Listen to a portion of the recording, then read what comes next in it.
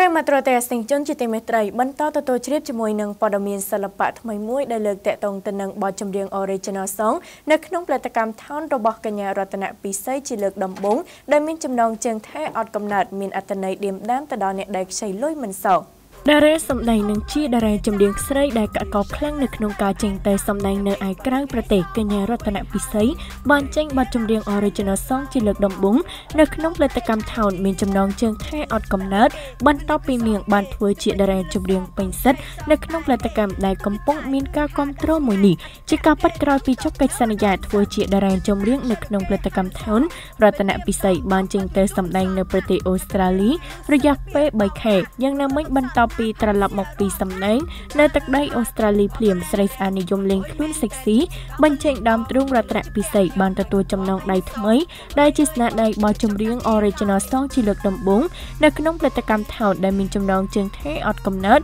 ខណៈដែលនាងរំពឹងខ្ពស់ថេនឹងទទួលបានការពេញនិយមនិងចូលចិត្តច្រើនពីសំណាក់ទស្សនិកជនពិសេសមិត្តយុវវ័យផ្ទាល់តែម្ដងបទចម្រៀងរបស់រតនពិសីដែលមានចំណងជើងថេអត់កំណត់គឺជាបទចម្រៀងដែលជាចង្វាក់ញាក់កន្ត្រាក់អារម្មណ៍អ្វីដែលប្លែកនិងចាប់អារម្មណ៍ខ្លាំងនៅក្នុងបទចម្រៀងមួយនេះគឺទៅលើអត្ថន័យតែម្ដងពោលគឺធ្លាប់តែបទចម្រៀងផ្សេងផ្សេងអត្ថន័យភាគច្រើនគឺនិយាយពីរឿងស្នេហាមិនថាបទមនោសញ្ចេតនាឬបទញាក់នោះទេដែលឡែកបទអត់កំណត់របស់រតនពិសីគឺមានអត្ថន័យឌៀមដាមធ្ងន់ធ្ងរតែម្ដងដល់អ្នកដែលចូលចិត្តខ្ចីលុយគេតែមិនដែលចេះសងនេះជាបទចម្រៀងដែលជាចំណៃអារម្មណ៍ថ្មីប្លែកមួយបែបទៀតសម្រាប់ទស្សនិកជនមួយវិញទៀតបទនេះគឺមានអត្ថន័យចាក់ដោតខ្លាំងដល់អ្នកដែលចូលចិត្តឲ្យគេខ្ចីលុយហើយគេមិនដែលសង